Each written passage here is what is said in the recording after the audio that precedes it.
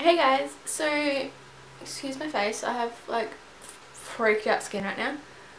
But I got my hair done.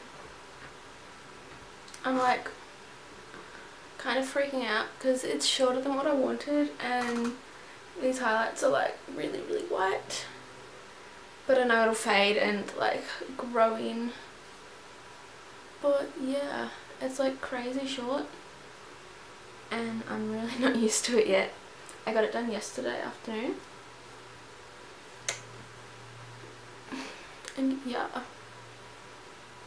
Excuse the bloody gigantor on my forehead. It's literally like a devil horn going through or something. So today I'm doing my makeup to get ready to go to my cousin's farewell dinner.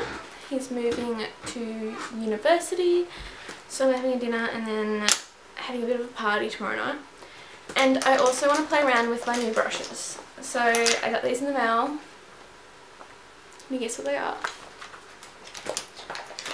they're the Shaaanxo limited edition rose gold brushes. And are they not the most beautiful things you've ever seen? If you would like to see me get ready and see my thoughts on these brushes, please keep watching.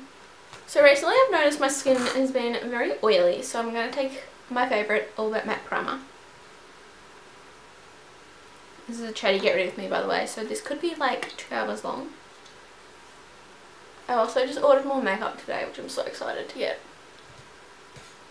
Um because it's the third today. And Tarte has like 20% off Valentine's Day sale going on. So I bought a bunch of makeup to try and I'm so excited. I got the Rainforest to the Sea foundation and concealer which I've wanted for like over a year I'm sticking with the matte look I'm going to take the Maybelline Fit Me Matte and Poreless in 115 Ivory so this is going to be a matte foundation I should really get my brushes out, hey? I will also do a review video on these brushes if you'd like to see, so comment that below. These brushes are a lot denser than I thought. Mm, I'm thinking maybe it would wash out of them a bit. It's really nice. It's like applying the foundation evenly and it's not soaking up the product, which is nice. Oh my god, so the Jeffree Star Androgyny palette like um released today, like what it looks like. And it's nothing like I expected. I thought it was going to be like a really like warm tones and burgundies and it's actually really different to that. It's it's got like a warm tone row and then it's got like some different colours. It's really nice though. At first I didn't like it but then I watched this video and just looked at the colours a bit more and I really do like it. So that's going on the wish list. That releases at the start of March. And my other like big item on my wish list is the Jaclyn Hill palette of course. So I know Shaaanxo uses her dual paddle brush for concealer, so I'm going to try that. I'm taking MAC, well, Pro Longwear in NC15, NC20, NW20. I'm taking the MAC Pro Longwear in NW20.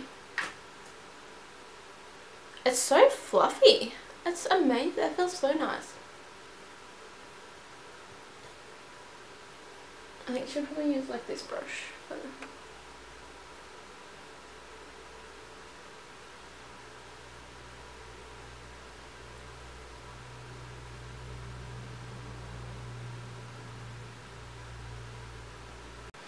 I'm going to take my Colour Theory translucent powder and bake my under eyes a little.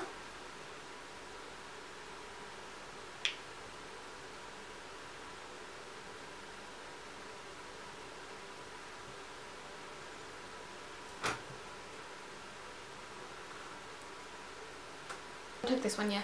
So I'm taking the Australis Fresh and Flawless Pressed Powder in light beige on the vegan powder brush. This is different than what I thought. Like it's kind of like a different shade.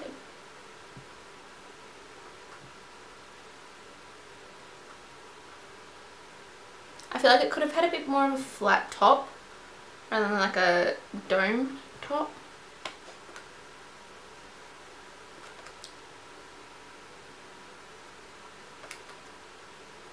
This is a matte foundation, but I still feel the need to set it.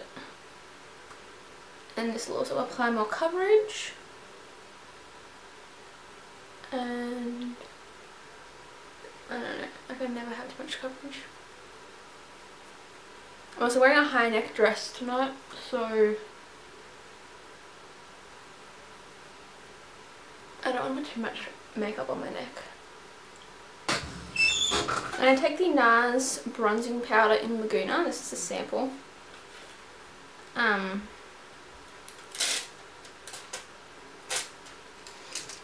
so I've already used this like three times. There's like not much left. I'm just going to take the Real Techniques multitask brush. The bronzing brush is like a contour brush. So I can't really like bronze. Oh, I guess I could. I feel like a fluffy brush works better though. So I'm just going to take some of that. I'll probably end up using a different bronzer as well because there's like nothing left on this. I'm going to take a little bit of my Too Faced Baked Luminous Bronze Glow. As always, I stick to the kind of lighter side. This one I'm just going to stick to my cheeks and my nose with.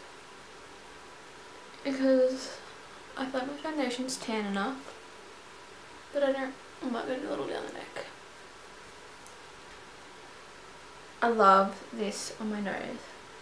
I'm going to take my Koko contour kit and the bronzer brush to contour. And I'm going to take medium cocoa, which is the grey colour.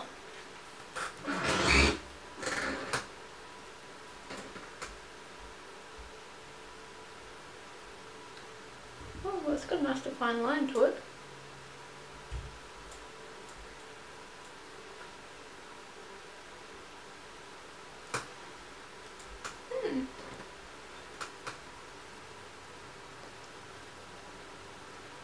I kind of feel like I contour too low on my face. I was watching Shani Grimmond today and she contours like up here. Like I contour like in the actual divot. Which apparently is too low. I'm going to take my Shimmer Tulip brush into Light Cocoa.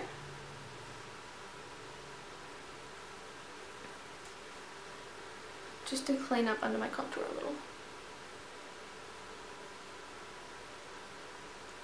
And then also brighten under the eyes. So next is blush. They don't really have a blush brush, so I'm just going to use a different one. Um, I'm just going to stick with my Real Techniques one because I love it. So I'm taking my current absolute favourite combo, and that is the Bow Beauty Blush in Rosy with the Bronx Colours Intense Blush in Peach. So this is like a dark almost terracotta kind of colour and this is like a bright peach. And I just love the way they look together. So I just go back and forth a little bit. Make sure to tap off your brush.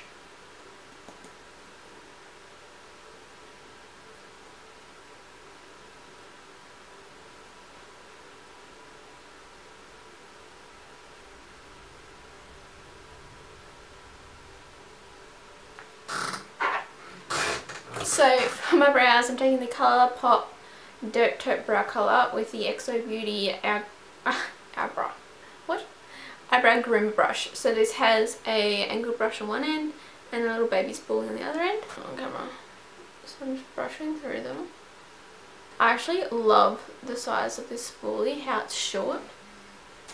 So I'm taking that Colourpop Brow Colour, which I always use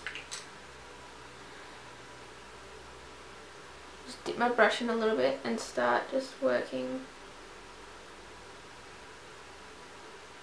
This brush is so thin, you can actually draw like the direct hairs in.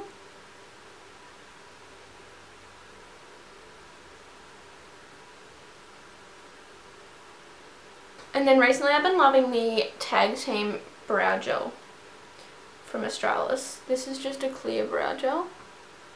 Now for probably my favourite part of makeup, I'm going to do my highlight. So I'm taking the Rainforest of the Sea Skin Twinkle Volume 2 by Tarte and the Shimmer Tulip brush.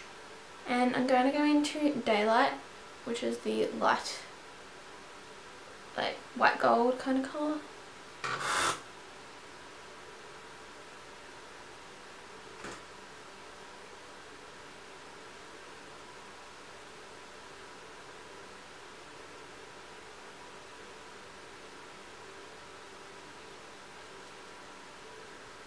So for eyes, I have five brushes. We have the eyeshadow brush, which is like a flat shader, the blend, the crease blender, which is like a bit shorter. One's like long and skinny, one's shorter. We have the angled shadow, which is like a dense angled brush. It's kind of really thin. And then the pencil brush. So I may have to use other brushes as well. I'm going to take my crease blend brush, which is the denser one. And I'm going to go into Nougat, which is this colour here. I'm really fussy with my crease brushes. These are a little, this one's a little flimsier, the other one's a little too dense and hard. Next I'm going to go into Mousse, which is this one here. On the blender brush.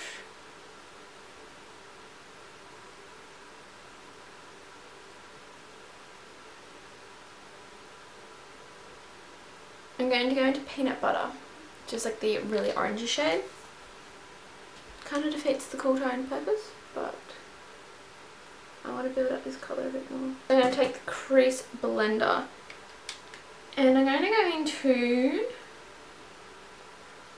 Puddin, which is this grey kind of colour here. And I'm going to put this in the outer V.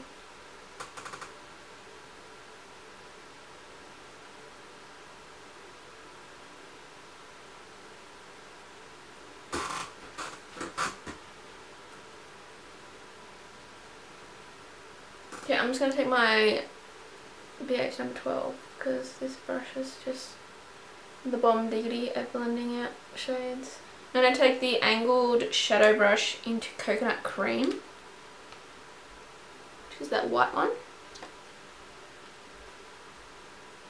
And that's going packed in there.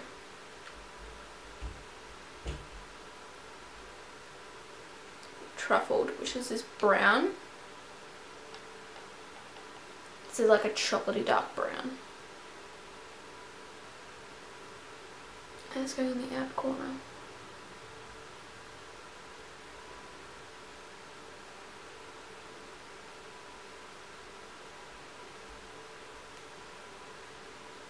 I'm going to start working my lower lash line. I'm going to go in with Mousse first to this one on the pencil brush. I've never used a pencil brush like this. So I'm interested to see how it goes. It's very stiff. Which I guess you want because you're like directly placing the colour. Then I'm going to take Puddin. That one.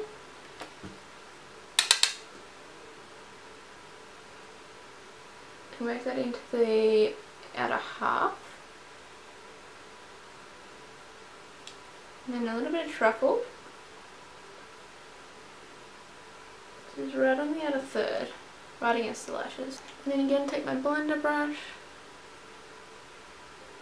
and blend. You can blend it around your eye a little bit. I'm going to take a mixture of puddin and truffled, that's what it's called tap off the excess.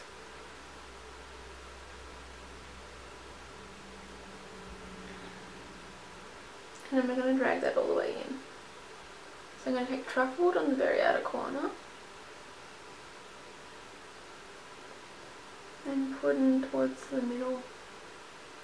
So that places colour down really well. I might take rum raisin, which is this one, because it's a little more cool tone.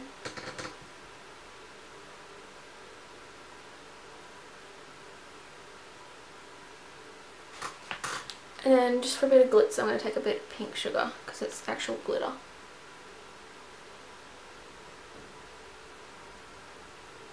Can you kind of see that?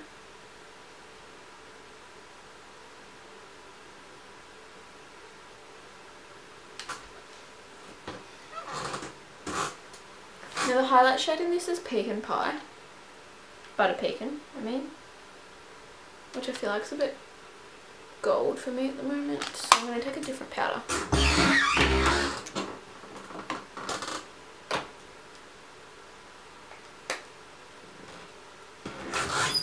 I'm going to go back to my Tarte palette and I'm going to take Daylight. There we go, that gives us a bit of a gleam. I'm also dusting off the uh, pencil brush and I'm going to take a mixture of Daylight and Skylight for my inner corner.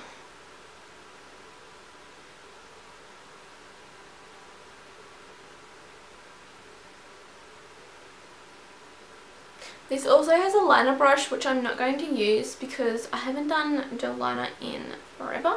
So I don't want to experiment with winged liner using gel liner today because I have to go out in like half an hour. So I'm just going to stick with the Essence waterproof eyeliner pen and apply some mascara and I'll be back. So I just ran the straightener through my hair. You can see my foils. They're like really intense. For my lips, I'm taking the Ofra Long Lasting Liquid Hard Lipstick in Aries. This is one of the Manny MUA mm-hmm. collaboration colours.